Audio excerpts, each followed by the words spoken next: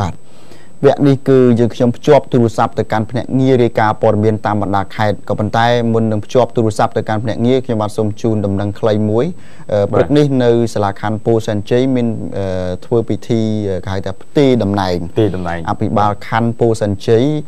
ត្រូវផ្លាស់ចេញហើយនឹងដាក់អភិបាលខណ្ឌថ្មីអញ្ចឹងលោកគិតសុផា ដែលជាអភិបាលខណ្ឌពោធិ៍សែនជ័យមុនត្រូវផ្លាស់ចេញពីអភិបាលខណ្ឌនេះទៅធ្វើការនៅសាលារាជធានីភ្នំពេញវិញហើយលោកហែមដរិទ្ធដែលជាអភិបាលរងខណ្ឌពោធិ៍សែនជ័យឡើងមកកាន់តួនាទីជាអភិបាលខណ្ឌពោធិ៍សែនជ័យជំនួសលោកគិតសភាតាមព័ត៌មានផ្សេងផ្សេងជាច្រើនមានការផ្លាស់ប្ដូរជាច្រើនទៀតប៉ុន្តែខ្ញុំមិនទាន់ជម្រាបជូនឲ្យលោកអ្នកទេពេលនេះខ្ញុំសូមអនុញ្ញាតជូនទៅលោកបត្រាបន្តឆ្លើយឆ្លងជាមួយភ្នាក់ងាររបស់យើងបាទបាទអរគុណជួបភ្នាក់ងាររបស់យើងប្រចាំការនៅក្នុងក្រុងបរសេនុគឺលោកកំហៃជំរាបសួរលោកកំហៃ បាទជំរាបសួរលោកបត្រាបាទជំរាបសួរផងដែរលោកសុខាបាទបាទព្រឹកនេះមានព័ត៌មានអ្វីបាទដើម្បីជម្រាបជូនដល់គ្រូទស្សនិកជនរបស់យើងបាទព្រឹកនេះខ្ញុំមានបាទព្រឹកនេះខ្ញុំមានព័ត៌មានមួយគឺគិតកោចាក់សាំងដុតសម្រាប់កុមារអាយុ15ខែកាលពីអំឡុងខែ12ត្រូវបានចាប់ខ្លួនហើយបាទសូមអញ្ជើញបាទយ៉ាងម៉េច បាទគិតកោចិត្តសាហាវជាស្ត្រីដែលបានចាក់សាំងដុតកុមារអាយុ15ខែកាលពីកំឡុងខែ4ថ្ងៃទី4ខែ12ឆ្នាំ2013នោះឥឡូវនេះត្រូវបានសមត្ថកិច្ចប៉ូលីសស្នងការដ្ឋាននគរបាលខេត្តប្រសេនុចាប់ខ្លួនបានហើយកាលពីព្រឹកថ្ងៃទី22កុម្ភៈឆ្នាំ2014នៅឯស្រុកឈូកខេត្តកំពតឯនោះបានបាទតាមការឲ្យដឹងពីលោកវរៈស្នេហ៍អាយស្កុលផាលីស្នងការរងទទួលបន្ទុកកណ្ដាលព្រំសននៃស្នងការដ្ឋាននគរបាលខេត្តប្រសេនុបានឲ្យដឹងថា ការឈានដល់ការខត់ខ្លួនស្ត្រីជនសង្ស័យជាកិច្ចករគណៈពេលដែលស្ត្រីសង្ស័យបានពេកខ្លួនទៅរស់នៅក្នុងខេត្តកំពតគឺសមត្ថកិច្ចបានធ្វើការស្រាវជ្រាវអស់រយៈពេលជាង2ខែក្រុមកិច្ចសហការជាមួយនាយកដ្ឋានដដាលនគរបាលយុតិធម៌នៃអគ្គស្នងការនគរបាលជាតិបាទក្រុមកិច្ចដោយមានការសហការគ្រប់គ្រងឧបត្ថម្ភពីអង្គភាពការពារកុមារហៅកាត់ថា CPU ទៅធ្វើការខត់ខ្លួនជនសង្ស័យបាននឹងបានបញ្ជូនទៅស្រីជនសង្ស័យមកកាន់សាលាដំបង ខេត្តប្រសេនុដើម្បីបើកសវនាការកាត់ទោសទៅតាមផ្លូវច្បាប់បាទបាទអាគូរំលឹកផងដែរថានៅថ្ងៃទី4ខែធ្នូឆ្នាំ2013វេលាម៉ោង19:00នាទីនៅចំណុចក្រុមទី15ភូមិ2សង្កាត់លេខ3ក្រុងប្រសេនុមានករណីមនុស្សធាតុដោយចេតនាមួយបានកើតឡើងដោយជនរងគ្រោះឈ្មោះសុកចម្រុងពេលប្រុសអាយុ15ខែនិងឈ្មោះអូនចនហៅតលឹមពេលប្រុសអាយុ33ឆ្នាំត្រូវបាន ឈ្មោះថៃស្រីរាហៅស្ដើងយកប្រេងតាំងចាក់ដុតទៅលើឈ្មោះអូនចននិងឈ្មោះសុកចម្រុងបណ្ដាលឲ្យរងរបួសធ្ងន់ទាំងពីររហូតដល់ថ្ងៃទី11ខែធ្នូដដែលកុមារសុកចម្រុងក៏បានបាត់បង់ជីវិតនៅក្នុងមន្ទីរពេទ្យឯរាជធានីភ្នំពេញ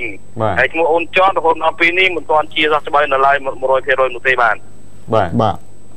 អរគុណបាទរូបភាពនេះរូបភាពដែលកុមារកាលនៅពីមិនទាន់ស្លាប់បាត់កំពុងតែបានមុតមូលហេតុដំណើរដើមចមវាយ៉ាងម៉េចទៅបានបណ្ដាលឲ្យចាក់សាំងដុតទៅលើក្មេងប្រុសទាំងពីរបាទលោកសុខាចំណុចនេះបើតាមការអះអាងពីម្ដាយជនរងគ្រោះបានបញ្ជាក់ថា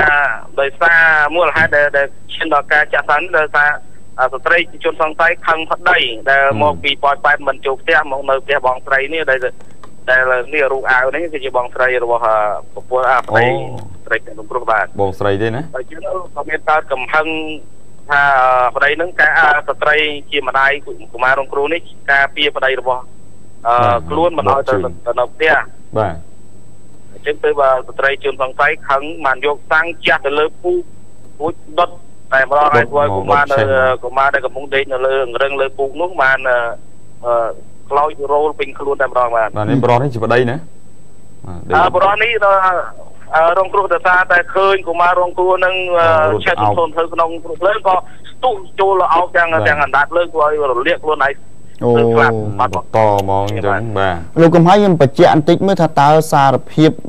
ចម្លើយរបស់អ្នកប្រព្រឹត្តហ្នឹងគាត់ឆ្លើយថាមានបំណងចង់ឲ្យស្លាប់ឬក៏ត្រឹមតែខឹងមកឆាវភ្លាមភ្លាមហ្នឹងលោកកំហៃ តាមការអាងពីស្ត្រីជនសង្ស័យក៏គាត់ថាគាត់ធ្វើគ្មានបំណងទេប៉ុន្តែនេះជាកំហឹងមួយឆាវជាមួយប្តីហើយប៉ុន្តែចុងក្រោយគាត់ដាក់បន្ទុកទៅលើប្តីថាប្តីជាអ្នកកេះតកេះទៅវិញអញ្ចឹងវិញទេណាតាមការឆ្លើយរបស់គាត់បាទកិច្ចបក្សាពីតឡាការបាទបាទអរគុណច្រើនលោកកំហៃដែលបានផ្ដល់ព័ត៌មាននេះតោះអ្នកការជូនដល់សាធារណជនជំរាបលាលោកបាទអរគុណសូមជំរាបលាបាទ បាទនៅក្នុងក្រមព្រំទាន់ឆ្នាំ2009យើងមានចែកអំពីចម្ពោះនិយាយពីអំពើហឹង្សាអំពើហឹង្សាហ្នឹងទូទៅត្មងទាំងគ្រួសារផងទាំងមិនគ្រួសារផងហើយមាត្រា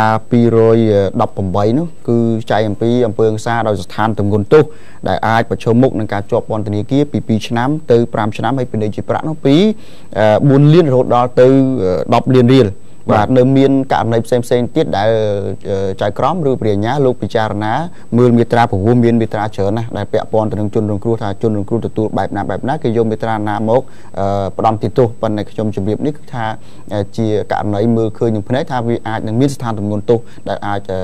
អនុវត្តតាមមេត្រា218បាញ់បាញ់ហើយបាទអរគុណចឹងជូនទៅតុលាការលោកចាត់ចែងតាមច្បាប់របស់លោកទៅចោះហើយសូម ជួបភ្នាក់ងារបន្តទៀតលោកត្រាបាទលោករតលោករតលោករតជំរាបសួរលោករតថានឹងលោកបត្រាបាទបាទជំរាបសួរលោកបាទឥឡូវនេះមានអីរាយការណ៍ជូនដល់បងប្អូនយើងដែលកំពុងទស្សនាទេលោកថ្ងៃនេះខ្ញុំបានមានសេចក្តីរាយការណ៍ស្តីពីសមាជិកនេះធ្វើការបង្ក្រាបចាប់ឈើប្រណិតបានជាង100កំណាត់ដែលគេលាក់ទុកនៅក្នុងព្រៃនៅស្រុកសបោបានបាទសូមជួយលម្អិតមើលយ៉ាងម៉េចឈើប្រណិតប្រភេទក្នុងជាង100កំណាត់ តូចធំដែលគេបានលាក់ទុកនៅចំណុចព្រៃមួយកន្លែងស្ថិតនៅខាងក្រោយឃុំរលួមានជ័យស្រុកសម្បូរគឺត្រូវបានមានព្រៃផ្នែករដ្ឋបាលក្រចេះចុះធ្វើការបង្ក្រាបនិងចាប់រឹបអូសបានទាំងស្រុងកាលពីរសៀលខែទី22កុម្ភៈកន្លងទៅបាទបាទមិនទាន់មានសេចក្តីរាយការណ៍ណាមួយបានបញ្ជាក់ឲ្យដឹងច្បាស់នៅឡើយទេថាឈើប្រណិតល្មើសច្បាប់ដែលសមត្ថកិច្ចបានរឹបអូសទាំងអស់នេះជារបស់មេឈ្មោះនោះទេណានោះទេដែលគ្រាន់តែដឹងថាគឺឈ្មោះបានប្រមូលដាក់ ទុកជាគំនរលាក់ទុកក្នុងព្រៃសម្រាប់រកឱកាសដឹកចេញទៅលក់បន្តបានបាទបន្ទាប់ពីមានការរុករកឃើញឈើទាំងនេះសុទ្ធសឹងដែលជាឈើប្រណិតប្រភេទធ្នង់មានមុខកាត់តូចធំជាង100កំណាត់នេះគឺត្រូវមេព្រៃនាំយកមកប្រសាទទុកនៅស្ថានីយ៍បណ្ដុះកូនឈើខ្សាដើម្បីចាត់វិធានការនិងធ្វើការវាស់វែងមន្ត្រីរដ្ឋបាលព្រៃឈើក្រចេះនេះបានឲ្យដឹងនៅថ្ងៃទី20កុម្ភៈនេះថាឈើទាំងនេះសុទ្ធសឹងជាប្រភេទក្នុងមានចំនួនជាង100កំណាត់តូចធំបរិមាណស្មើនឹងជាង20ម៉ែត្រគីប តាមប្រភពព័ត៌មានបង្ហើបឲ្យដឹងថាឈើទាំងនេះគឺត្រូវបានឈ្មោះដឹកចេញតាមប្រទេសគោក្របីចេញពីព្រៃជ្រៅជ្រៅមកពីខេត្តមណ្ឌលគិរីនិងយកមកលាក់ទុកស្តុកនៅតាមព្រៃមួយចំនួននៅក្នុងឃុំរលួមានជ័យឃុំក្បាលដំរីរបស់ស្រុកសមូដើម្បីរកឱកាសដឹកចេញទៅលក់បន្តប្រពន្ធបានបញ្ជាក់ថាតាមរយៈសំទោសរយៈពេលប្រហែលខែចុងក្រោយនេះ សកម្មភាពនៃការដឹកជញ្ជូនឈើប្រណិតរបស់ក្រមឈ្មួញគឺបានកម្រើកឡើងវិញបន្ទាប់ពីមានការស្ងប់ស្ងាត់មួយរយៈពេលក្រោយពីទីផ្សារចុងក្រោយនៅប្រទេសវៀតណាមបានផ្អាកការទិញនាំធ្វើមកនោះហើយការលួចដឹកជញ្ជូនរបស់ពួកឈ្មួញគឺបានធ្វើឡើងគ្រប់រូបភាពតាមរថយន្តតូចធំពិសេសការបង្កប់ក្រោមបាវសំដែងឬបាវដំឡូងមីដើម្បីបំផន់ផ្នែកសមត្ថកិច្ចបាទលោកព្រៀបសុធារានៃផ្នែករដ្ឋបាលព្រៃឈើក៏ចេះបានឲ្យដឹងថា